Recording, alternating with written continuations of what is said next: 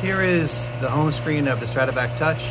Here you see the sensor 1 value, you see the sensor 2 value, you see graphs, color-coded graphs for both sensors, and uh, here you've got relay, or actually um, uh, bellows valve 1 and bellows valve 2.